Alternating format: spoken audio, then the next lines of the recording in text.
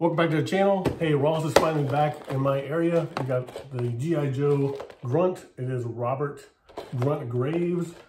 So in one of those cardboard boxes, no windows. So we're just gonna open it up, see how it looks. Let's get him out of this uh, box here. Got a weapon in here as well. Let's check it out. All right, got Sergeant Graves here.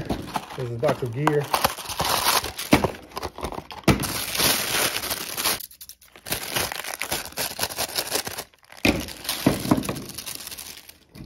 Helmet, uh, rifle, two rifles. I got M16 and another rifle, rucksack, pistol, extra magazine, and a knife. So he comes with quite a bit of gear. It's pretty cool. All right, get him out of here.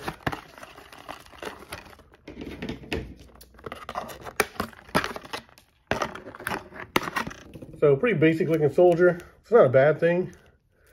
So U.S. Army grunts, the backbone of the Army. Without them, you're not gonna get much done. So, HUA, the Army people know what that means. Space sculpt's all right. It's just one head. He does have the helmets here. Chin strap on that one. And he has a full headgear here. Uh, let's go on. Let's see. Uh, King those rifles. Let's see. Yep, this one came all bent up. Look at that. Look how bent that is. Thanks a lot, Ross. And here's this rifle. Again, bent up. Look at that. Yeah, you can you can bend them back. It's fine. Oh man, that's really thin. So be careful bending those back. All right, back back works. Sidearm, does he have a holster? He does. So round four, I think it was seven ninety nine.